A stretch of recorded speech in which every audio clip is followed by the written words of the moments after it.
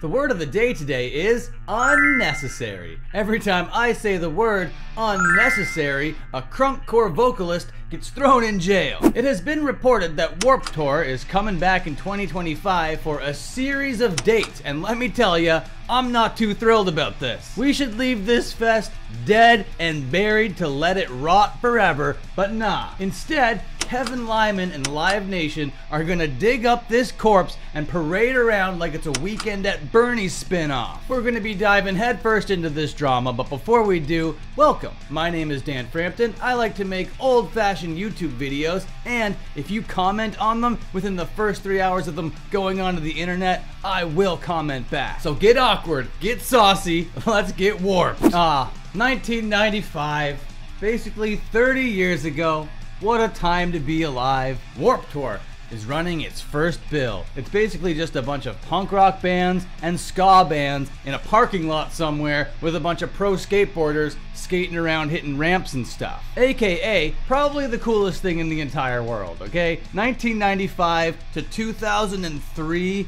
Warped Tour might be some of the coolest stuff to ever exist. This festival means so much to so many people, but if you're not familiar with Warped Tour, I'll explain it to you really, really quickly, okay? It's basically a touring carnival for punk rock artists. You know those summer festivals that happen every summer? Pictured one of those, but touring. And it's just full of punk, pop punk, and ska bands, okay? In the early days, it would change dramatically going forward. If you were an alternative kid, if you liked to skateboard, if you were into punk rock, if you were into anything that wasn't quite mainstream, then the Warped Tour definitely meant something to you. And you could go to it at an affordable rate and see everybody else that is into the exact same thing that you are. And it didn't feel corporate even though it was sponsored by bands. It felt like a community. It felt very special to everybody from the very, very top to the very bottom. Huge bands like Blink 182 would get their start on the Warped Tour. So the 90s was focused mostly on punk and ska. The 2000s got a lot more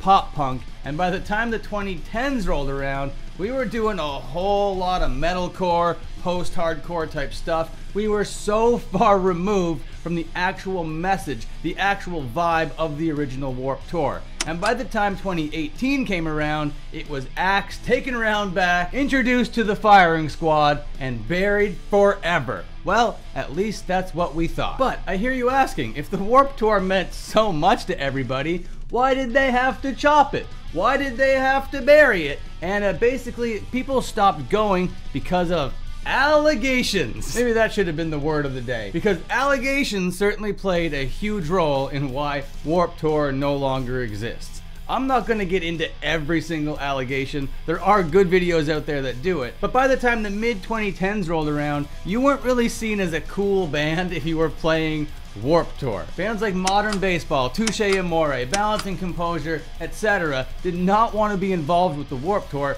because of the connotations that came along with it. Just allegations. So many allegations. And in 2018, festival founder Kevin Lyman had to say that he is closing operations due to a lack of community. That's a load of bullshit. Kevin, and you know it. There was an incident with Front Porch Step, another bunch of incidents I do not want to get into in this video, but because of all the things that Front Porch Step were involved in, they were axed from the tour, and then Kevin Lyman instituted a second chance policy which brought them back. Now, there are reasons why you wouldn't want Front Porch Step around a bunch of children, okay? But Kevin Lyman was like, every band deserves a second chance even the ones that are a danger to children. And for that, I'm sorry. I will not forgive that. I cannot forgive that. There is no coming back from that. I'm sorry, Kevin Lyman. Not to mention, blood on the dance floor. Whole lot of creepy stuff happened on the Warped Tour because of blood on the dance floor. Dozens of more bands with dozens of more allegations. Just a disgusting slop fest out there. And the creepiest weirdo on top of the pile of creepy weirdos,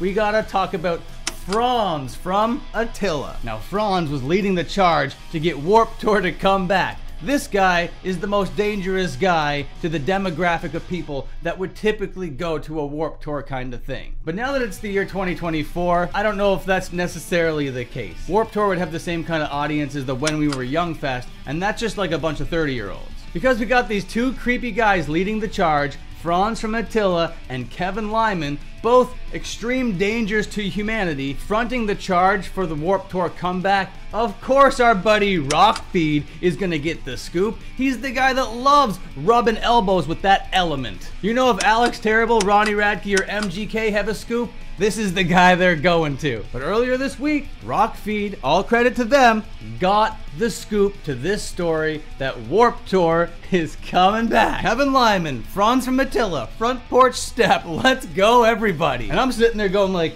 really? What, did we did we forget what happened? What's going on over here? How is this happening? It's like, oh yeah, they're getting in bed with Live Nation, another evil as hell company. So I'm like, oh, this isn't really the Warped Tour. This doesn't even have the soul of the Warped Tour. Tickets are gonna cost $500 to go to one of these things. And it's gonna be run by like the evil scumbags of the world. But anyway, let's read the Rockfeed tweet that announces this huge news. One of rock music's most iconic brands will be making an unnecessary comeback in 2025. Rockfeed has unnecessarily learned. According to multiple sources familiar with the matter, Warped Tour will unnecessarily return with a series of unnecessary festivals next year. Warped Tour helped launch the careers of numerous noteworthy artists, including Blink 182, Sum 41, Paramore, Katy Perry, and more. Warped Tour unnecessarily returns in 2025. The Rock Festival will be overseen by Live Nation, although beloved festival founder Kevin Lyman is said to be heavily involved. Oh, is he? Heavily involved, you say? That's good to know. That's reassuring. Oh, I'm glad. That's the peace of mind I needed going forward. Thank you very much. A request to comment from Live Nation has not been returned. Oh, really? That's funny. But to this news coming out, most people are pretty stoked about it. Most people are like, I got so emotional when I heard. And really, that's because there is so much nostalgia associated with the Warped Tour the 30 year anniversary, all this kind of stuff, is going to be tugging at so many heartstrings of so many generations. People that were going to shows in the 90s, 2000s, 2010s, they're all going to be so like emotionally invested into this story right off the bat. But I don't think that this thing should be happening to begin with. I thought its reputation was dead and buried. I didn't think anybody wanted to slap a Warped Tour branding on top of anything ever again because of the connotations associated with it. You know, I didn't think that that was going to be like a cool thing for people to be like, I'm associated with. But I guess enough time has passed. Who gives a shit, right? It's just the Warped Tour. It's just a thing that's happening. Just a money grab thing. You know how it goes. So, yeah. I certainly do. I have more than a handful of memories associated with the Warped Tour. I've seen some of my favorite bands ever at the Warped Tour, but I was also there for the metamorphosis and saw it turn into what it turned into.